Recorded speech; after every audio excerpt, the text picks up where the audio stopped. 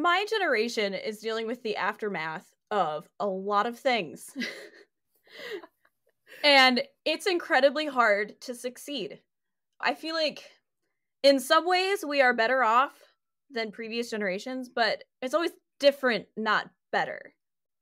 Trying to find a good job or a job that you like or a job that pays enough, trying to find a place to live is incredibly hard.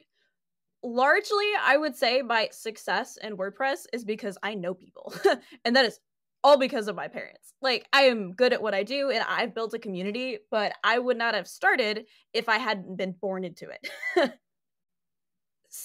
the importance of a credential comes from being able to just start something. When I wanted to get involved in WordPress, like the things that I am good at are not common yet and they're not necessarily tangible. Like you can create a, a, personality and a writing portfolio, but that can take years to develop. And I have about eight to 10 years of experience in WordPress. It just isn't tangible, but I could show you my experience.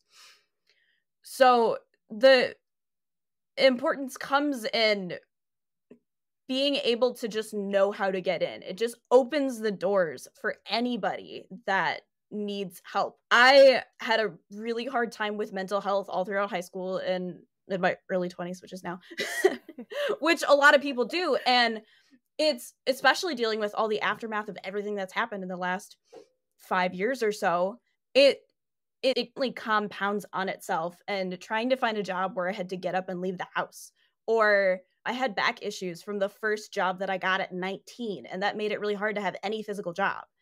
And so being able to work in WordPress and stay home and fulfill my needs, it increases my quality of life starting at the age of 20.